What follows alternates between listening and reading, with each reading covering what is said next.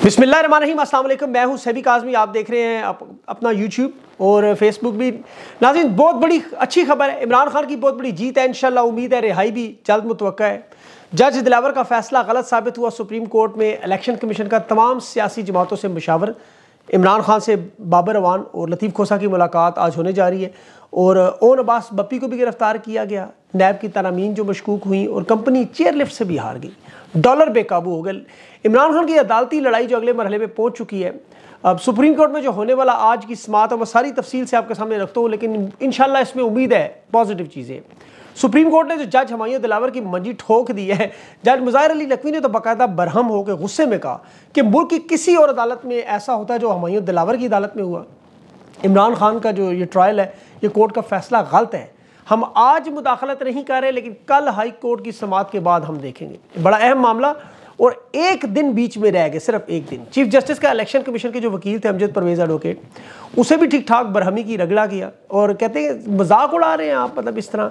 तीन दिन में आपने फैसला सुना के इमरान खान को सुने बगैर जेल भेज दिया। और आज के रिमार्क से लग रहा है कि उमर बंदयाल साहब, इंशाल्लाह, जाने से पहले एक अच्छा काम, तारीख का शायद कर जाए, अपनी ज़िंदगी को संवार जाए।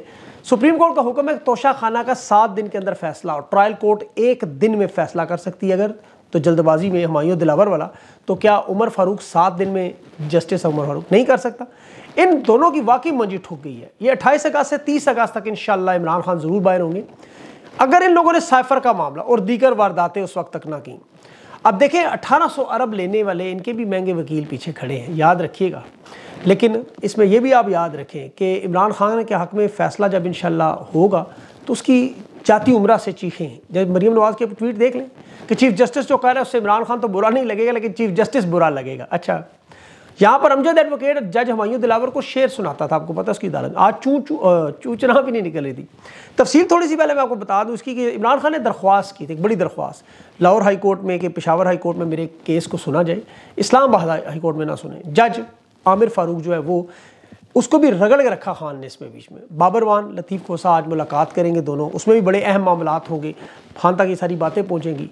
चौबीस करोड़ अवाम लेकिन ये बात समझे और गौर से सुने। ये दिन आपके पास बड़ा अहम है। भरपूर तरीके से जज आमिर फारूक के खिलाफ आवाज़ उठाए ताकि कल वो कोई बहाना ना बनाए और फैसला सुनाए। चाहे वो फैसला इमरान खान के मुखालिफ कर दे। ये भी तारीख में पहली दफ़ा हम कह रहे हैं, फैसला करो खिलाफ पेशा सुप्रीम कोर्ट वरना उस वक्त तक कुछ कर नहीं सकती। इमरान खान के वकला को ये तोहन अदालत का नोटिस भी दे सकता है। लेकिन जो दरख्वास्त इमरान खान ने पहले लिखी ना, थोड़ा सा उसका मैं आपको बता दूँ कि बड़ी, मुझे बड़ी अच्छी लगी कि उसमें इमरान खान ने जज आमिर फारूक को कहा कि ये मुझे इलेक्शन से बाहर रखने, सियासत से बाहर रखने के लिए जेल में डाल रहे हैं। मुझे सियासत से निकालने के लिए मेरा कानूनी हक छीन रहे हैं। मेरे केसेस की अदालत में न लगाएँ, इसको मेरे से ज़ाती बोगज़ है। यही बात हम करते थे। तोशा खाना की तीनों दरख्वास्तों पर मज़ाहिर नकवी थे, जमाल मंदो खेल और चीफ जस्टिस थे। अब देखें, ये जो आमिर फारूक है, ये इसे क्यों लेट करना चाहता है? कल क्यों लटकाना चाहता है? साइफर के केस पर अभी तक वादा माफ़ गवाह इनके पास नहीं है। कोई ऐसी सॉलिड नहीं है। अब फिर जो आरिफ अलवी ने दो बिल मंजूर नहीं किए, उसे उनकी, आपको पता है, समात, अब ये चाहते हैं ज़्यादा से ज़्यादा डिले हो, टाइम टैक्टिक्स। साइफर बड़ा कमज़ोर केस है उस पर भी ये कोशिश कर रहे हैं ये, ये कि किसी तरह वादा माफ़ गवाह बना लें। शाह महमूद कुरैशी को 12 घंटे कुर्सी पर इन्होंने बैठाई रखा पानी का गिलास तक नहीं दिया। असद उमर आज़म खान पर इन लोगों ने बड़ा ठीक ठाक दबाव रखा हुआ है और तोशा खाना की जो अपील है उसको जानबूझ कर लटका रहे हैं कि कोशिश करें कि इतनी देर में हम साइफर की वारदात अपनी मुकम्मल कर लें। अब ये दरख्वास्त असल में जो जज हमायूं तीन अगस्त को फैसला चैलेंज कर रहा था उसमें देखिए तीन अहम पॉइंट्स पे हुई। एक जज हमायूं के पास क्यों केस भेजा गया?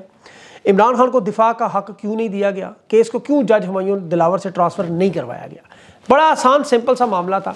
अब दौरान समात इसमें जो बड़ी अहम बातें हुई, उससे फैसलों के मतलब और इन लोगों का जेन भी नज़र आ रहा था। मैं सुन रहा था बड़े गौर से जस्टिस जमाल बंदो खेल की बातें, जब उन्होंने कहा ना कि मैं अपनी हद तक बात करूँगा कि फ़ैसला हाई कोर्ट में अपील के साथ है।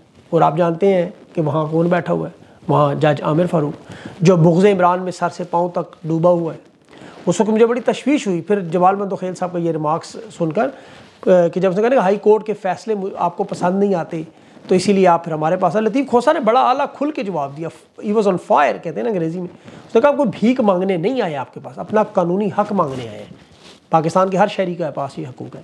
चीफ जस्टिस ने हाई कोर्ट के हवाले से फिर जो रिमार्क्स दिए, कहा जी कि फ़ैसला पब्लिक होता है, फ़ैसले पर तनकीद होती है, फ़ैसले फ़ैसले तक रहे, इदारे ऐसे ही काम करते हैं। अब यहाँ पर लतीफ़ खोसा साहब ने बड़ी अहम बात हुई जिस दिन इमरान खान को सज़ा दी, उस दिन इमरान खान के वकील ख्वाजा हारिस को सुना ही नहीं गया। ये भी तारीख में देखे एक वारदात उसके मुंशी को अगवा किया गया और कहा, अदालत की सुइयाँ वापस पोजीशन में लेके आए। उमर बंदयाल साहब ज़रा बात सुने। हर गलत, वो आगे से कहते हैं जी, हर गलत बुनियाद पर इमारत नहीं गिराई जा सकती, जो गलत बुनियादों पर बनी हो। जज खुद मानता है कि इंसाफ गलत बुनियादों पर हुआ। इमारतें गिराई जा सकती हैं, जज साहब को पता हो। गिराए कल इन मुझे लग रहा था ये वारदात करने की पूरी कोशिश करेंगे, बाकी भी। देखिए, सुप्रीम कोर्ट के पास अथॉरिटी है वो चाहे तो सारे केसेस का लदम कर सकते हैं और करना भी यही चाहिए। इमरान खान की अगर तोशाखाना केस का आप सिर्फ़ पोस्टमार्टम करें तो चीफ जस्टिस उमर मंदयाल खुद कह रहे हैं कि मुलजिम को हक का दिफा नहीं मिला। रिमांड आर्डर के सज़ा दे दी फ़ौरन और मुलजिम को जेल भी भेज दिया। होना तो ये चाहिए था कि जज साहब आमिर फारूक और दिलावर हमायों को जुडिशल रेफरेंस भेज के बदनवानी के इल्ज़ाम में अंदर डालें। चीफ जस्टिस साहब कह रहे हैं, नहीं, फ़िलहाल हम इन गलतियों पर मुदाखलत नहीं करते। चले ना करें, आप ना करें। लेकिन यहाँ पर इलेक्शन कमीशन के क्याम की उन्होंने बड़ी अच्छी बात की। उन्होंने कहा, क्यों ना हम वो जो इलेक्शन कमीशन का वकील कह रहा था कि समाज को थोड़ा आगे कर लें, वक्त हासिल करने के लिए। यहाँ पर चीफ जस्टिस ने शुक्र है हम तो रात नौ बजे तक बैठे नौ बजे नहीं, वैसे बारह बजे तक आपने अदालत खोली थी। बारह इन्होंने कहा, जी, आज हम दो बजे तक कर लेंगे समात कल दो बजे हो जाएगी। इन्हें पता है झूठा केस है। तो खेल साहब जो बात कर रहे थे कि ट्रायल कोर्ट में मतलब ये केस है आपका जो है ही नहीं तो अब हम कहाँ भेजें उसको? तो लतीफ़ खोसा ने कहा कलदम करें इसको, ख़त्म करें इसको। यहाँ बड़ा अहम नुकता है। जस्टिस मुजाहिर नकवी ने भी बात की, अब एक रुकन असम्बली दूसरे रुकन के खिलाफ क्या शिकायत करवा सकते हैं और किस कानून के तहत स्पीकर को दरख्वास्त दे? इमरान खान के बारे में छः एम एन एज ने इमरान खान के खिलाफ स्पीकर को रेफरेंस भेजा था। इसमें उन्होंने इल्ज़ाम लगाया जी, इन्होंने अपने असासों से मुतल एक झूठा बयान है। ऐसे लोग मतलब ऐसे छः एम एन एज वो बताऊँ उसे स्पीकर ने इमरान खान के खिलाफ रेफरेंस इलेक्शन कमीशन को भेजा। फिर इलेक्शन कमीशन ने पार्लियामेंट के अरकान जो होते हैं इकतीस दिसंबर तक अपने एहसासों की जो तफसीत वो जमा कराने के पाबंद अब अब इलेक्शन एक्ट एक्ट देखें, एक सौ सैंतीस, उसका सब सेक्शन चार है या पाँच है। उसमें एक सौ बीस दिन दिए हुए यहाँ पर इमरान खान के खिलाफ रेफरेंस एक सौ बीस दिनों के बाद भेजा गया। यानी चार महीनों के बाद ये लोग फैसला करें इतना बोगस केस, और ये बड़े आराम से केस उड़ जाएगा, फारिग हो जाएगा, यकीन करें। अगर कोई अनहोनी ना हुई तो इन खान बाहर है। देखिए, वह छोटे से गर्मी में, आठ बाई बारह के कमरे में, सेल में बैठा हुआ, एक विरत करता है, ला इला जो खौफ के बुत तोड़ता है, और वही रब है जिसके लामहदूद इख्तियार हैं, और महदूद इख्तियार के लोगों को वह पाबंद करता है। मेरी ये बात अगर आपको समझ आ आए, इसमें बड़ा कुछ था। कमेटी के जो टाउट है इनका कंपनी का सॉरी ये वारदात कर रहा है कि जी वो, उसने दो दिन मुलतवी करने की कोशिश की, सुप्रीम कोर्ट में जाके फंस जाएगा मामला। कहेगा, मैंने तो अभी फैसला ही नहीं किया। लेकिन बंदयाल ने उसे वाकई इस दफ़ा उल्टे हाथ की मारी है। ये मानना पड़ेगा। उसे सात दिन के अंदर अंदर पाबंद कर दिया। अब सुप्रीम कोर्ट की समात में अब कल फैसला हो जाएगा। अब तमाम जजेस ने हमायूं दिलावर के फैसले को गलत करार दिया। सज़ा का फैसला गलत है। इमरान खान के मौक़ की जीत है। और अब इस्लामाबाद हाई कोर्ट का जब फैसला कल आएगा, दूध का दूध, पानी का पानी, कौन कहाँ खड़ा है? सुप्रीम कोर्ट ने अभी जो नैब जो आपको पता है, दौरानिया और उसकी जो तरमीम है उस पर भी बड़े अहम सवाल किए। और वो भी इमरान खान के लिए उन्होंने केस बनाया था कि ज़्यादा से ज़्यादा अरसा गिरफ़्तार करें। ये तरमीम जो उन्होंने नैब में की थी, सिर्फ़ इमरान खान के लिए की थी। लेकिन वो चीफ जस्टिस ने कहा कि जुलाई में जो नैब की तरमीम है, वो सारी मशकूक है। अदालती फैसलों के मुतसादम है। आप सवाल जो आप किए हुए बंदे को कैसे जेल में डाल देंगे? उसे जेल में डाल के तो बातचीत कैसे होगी? रिमांड का दौरानिया और जमात चलें, ये ठीक था, लेकिन बाकी इन जो है वो कल, आपको पता है इसके फैसले के बाद तफसील होगी। अल्लाह से दुआ करें इन मामला बेहतर हों। लेकिन यहाँ पर जो शाह महमूद की वफादारी का बड़ा तारीखी इम्तहान है। देखिए, हर कोई इमरान खान की तरह सख्त जान और मज़बूत आसाब नहीं है। उम्मीद है इन शाह साहब खड़े रहेंगे। कुछ लोगों को तो एयर कंडीशन बंद हो तो उनके आसाब जवाब दे देते हैं। अब साइफर के मामले पर शाह महमूद कुरैशी एक वायद बंदा है और दो और लोग हैं इनके साथ। ये वारदात असल में करने की कोशिश क्या करें? एक तो ये ज़्यादा से ज़्यादा वक्त हासिल करना चाहिए, जैसे मैंने आपको बताया। इनको वक्त, इस वक्त सिर्फ़ सुइयाँ घड़ी पे टिकी हुई। साइफर के अंदर कहते जी मालूम मौजूद थी, गैर मुजाज बंदों तक इमरान खान ने पहुँचाई। अट्ठाईस मार्च को इमरान खान और शाह महमूद बनी गाला में मीटिंग कर रहे थे साइफर पर। आज़म आज़म खान के ज़रिए गलत मालूम उसको इस्तेमाल करेंगे। तीसरा इल्ज़ाम खान पे ये था कि गैर कानूनी तौर पर साइफर अपने पास रखा। अब इनके तीनों के जवाब मेरे जैसा बंदा भी वकील करे तो वो उड़ा दे बड़े आराम से।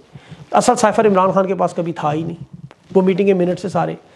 पब्लिक में कभी साइफर आया ही नहीं, असली साइफर एक काबीना की मीटिंग के जो लिखे मुदरजात मिनट्स जिन्हें कहते हैं, वो क्लासीफाइड डॉक्यूमेंट्स हो ही नहीं सकता। सेक्रेटरी दाखिला जो रिटायर हो चुका है, वो पिछली डेट्स में वो इन केसेस का मुद्दा अब नए केसेस का मुद्दा बन ही नहीं सकता। और खारजा पॉलिसी पर तो सिर्फ़ वजी अजम और वजी खारजा मुजाज हैं जो स्टेटमेंट है बाकी लोगों का तो काम ही नहीं। अभी हाल ही में इन तमाम लोगों की गुफ्तु जो लीक हुई इंटरसेप्ट में भी गई, उससे आप देख लें कि एफ़ आई आर इनकी खुद ब खुद मुतल होते इनकी सारा केस कि हुकूमत ने जब अमरीकी सफ़ीर को डिमार्च किया। और सबसे बढ़कर, ये जो कहते हैं ना, खान ने कागजात तो कागजात की हिफाजत वजी अजम का काम नहीं। ये काबीना के सेक्रेटरी प्रिंसिपल सेक्रेटरी जो आज़म खान टाइप वो उनका काम था। अब इन्हें अकल करनी चाहिए, देखिए दुनिया पूरी की पूरी ब्रिक्स की तरफ़ जा रही है, चीन उसे बढ़ा रहा है, डॉलर धड़ाम होने जा रहा है। पाकिस्तान उसमें शामिल किया जा रहा है, हिंदुस्तान उसे रोकने की कोशिश कर रहा है। अभी अर्जेंटीना, तुर्की और सऊदी अरब तक जा रहे हैं उस तरफ़। वो मुखालफत कर रहे थे, अब वो भी शामिल हो रहे हैं कि डॉलर गिरेगा, लाजमी गिरेगा। जिस तरह तेज़ी से काम हो रहा है, डॉलर का वक्त ख़त्म हो रहा है। एक सवाई अमरीका की कॉलोनी बनने के अलावा कोई और मुल्क शायद रही ना। आने वाले दिनों के हालात के हिसाब से अगर ये फैसले करें, देखें, मैं आपको हकीकी मानों में बता रहा हूँ। मैंने इस पर बड़ा स्टडी किया है। पाकिस्तान के मसाइल का हल वाकई जनरली सिर्फ़ इमरान खान के पास है। अब सोलह महीनों में चौदह पार्टियों के तजर्बाकार जहीन देख लें, जो लाए थे उठा के, मंझे हुए दिमाग थे कंपनी के, वो भी देख लें, निगरान हुकूमत में इनका हाल तीन चार हफ्तों बाद आप ये भी देख लीजिएगा, जो इमरान खान पर क्रिटिसाइज करते हैं। इस वक्त रुपया बुरी तरह तबाह बर्बाद है। नौकरियाँ काम का सब कुछ दाव पे लगा हुआ है। तहरीक इंसाफ के लिए नहीं, इमरान खान जो अस्सी फ़ीसद जो पाकिस्तानी उनके लिए, इन बीस फ़ीसद के लिए भी उतना ही ज़रूरी है। अकल से काम लें। आज इन्हें पता चला है खान के इन हालात में मीशत चला गई है। वे मुल्क उसके अलावा नहीं चल सकता। वो कोरोना जैसी दुनिया की बाखुदा आज तक ऑस्ट्रेलिया अभी तक नहीं निकल पा रहा। और वो जलजिले के झटकों की तरह जब अफ़गानिस्तान से इनखला हुआ था जो चौदह पार्टियाँ के हैंडलर्स सिर्फ़ सोलह महीनों में देखे, खान डॉलर एक सौ अस्सी पे छोड़ के गया और उसे भी नीचे जाना था। आज तीन सौ तीस मार्केट में नहीं मिल रहा। इनके अभी होगा तो साढ़े तीन सौ से ऊपर भी चला जाए, आप देख लें। उसकी इकोनॉमी छः फ़ीसद तरक्की कर रही थी उन हालात में भी। इनकी ज़ीरो शरिया पाँच पे चलेगी। महँगाई उसकी ग्यारह फ़ीसद, इनकी चालीस होगी। अब इसमें तफसील में मैं चला गया तो बहुत लंबा प्रोग्राम हो जाएगा। सिर्फ़ इतना समझ लें कि अब किसी को बम्बारी करने की ज़रूरत नहीं है आप वो आपको इस तरह गिरा सकते हैं इन लोगों को ला के और बड़ी इंपॉर्टेंट बात है, देखिए, वो भुट्टो कहता था हर घर से भुट्टो निकलेगा। पाकिस्तान में अट्ठारह हज़ार, सत्रह हज़ार बच्चे पैदा हो रहे हैं साल के। अब एक साल में इस साल सबसे ज़्यादा मशहूर नाम हुआ है इमरान खान, इमरान इमरान अहमद खान न्याजी, इमरान अहमद इमरान अहमद खान, ये सारे आगे पीछे करके लोग। अब हज़ारों वोटर रजिस्टर हो रहे हैं। हर बच्चों के लोग नाम इस साल सबसे ज़्यादा रजिस्ट्रेशन में नाम इमरान खान आ रहे हैं। अगले चालीस सालों में आपको नाम यही नज़र आएगा। फ़लसफ़ा यही नज़र आएगा। इन्हें सोच लें, इन्हें सोच लें। हर घर से इमरान खान ही निकलेगा। अब ये इतनी ताकत रखने के बावजूद कंपनी एक चेयर लिफ्ट से हार रही है। हिंदुस्तान चाँद पर उतरने में कामयाब हो रहा है हम अपने मासूम बच्चों को चेयर लिफ्ट से नहीं उतार पा रहे महफूज तरीके से। क्योंकि माजी में देखें हेलीकॉप्टर या तो राशन फेंकने के काम आते रहे, या फिर तस्वीरें फेंकने के नंगी। यही काम करते रहे नवाज़ शरीफ वगैरह। अब ज़रात करें, काश्तकारी करें, दलिया बनाएँ, सीमेंट बनाएँ, बैंक चलाएँ, मुल्क तजारत चलाएँ, खारजा पॉलिसी चलाएँ, जो मर्ज़ी कर लें, मामला आपके इख्तियार में नहीं है। अभी इनका निगरान वजी अला में देख रहा था वजी मवासला इतलात। उसने 18 स्टेज डांसर इसलिए बैन कर दी, उसके सामने नाचती नहीं। इनके तो ये चाँद चढ़ेंगे, और इनसे कोई चाँद इनसे नहीं चढ़ सकता, ये कभी चाँद तक नहीं पहुँच सकते। मसला ये है, देखे, छोटी सी बात अगर इन्हें समझ आ जाए, अगर जिन हालात में इमरान खान ने साढ़े तीन साल हुकूमत की, और अब सामने आ रहा है कि किस तरह वो ख्वाजा आसिफ के सारे बयान आप देखें कि उसकी हुकूमत सात महीनों बाद ही इन्होंने गिरानी शुरू कर दी। पहली दफ़ा सात महीनों बाद वारदात शुरू। फिर सात महीने नहीं बर्दाश्त कर सके खान को। छब्बीस साल वो सियासत करके आया, सात महीने बाद इन्होंने बस कर दी।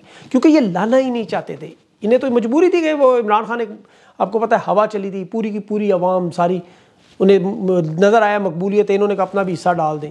और पीछे पीछे छुप के लोगों बाजवा साहब बताते रहे, हम ला रहे हैं जी, हम ला रहे हैं। वो चलती हुई, जिस तरह आपको पता है, किसी मशहूर बंदे कहते ये सारा आपकी वजह से वो कहते हाँ जी हाँ जी, मेरी वजह से हो रहा है।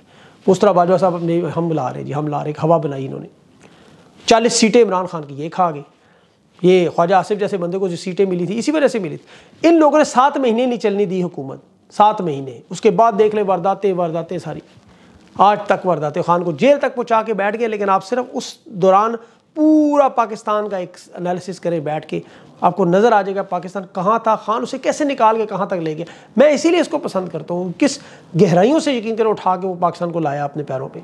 मोदी की रेटिंग्स वर्ल्ड बैंक की रेटिंग्स देखें टूरिज़्म देखें आप बड़ी आप सनतें देखें, छोटे किसान देखें लंगर खाने देखें, उसके बाद एक तफसील है पूरी और मैंने बड़ा स्टडी किया है सारा। सब कुछ बेहतरीन हुआ और फिर उन्होंने आपको बताया। बहरहाल इंशाल्लाह इसीलिए दुआ है कि अल्लाह ताला उसको बाहर लाए और दो अवाम को ये मिले पावर के इलेक्शन में जाके अपना हक इस्तेमाल करके अपने मुंतब लोगों को ला के पाकिस्तान की किस्मत इन इंशाल्लाह ऐसा ही होगा। और ये अच्छी बात है, मायूस होना बंद हो, खुशी का इजहार किया करें। अल्लाह ताला बेहतर करेगा। अपना खास ख्याल रखें। अगली वीडियो तक इजाज़त अल्लाह हाफ़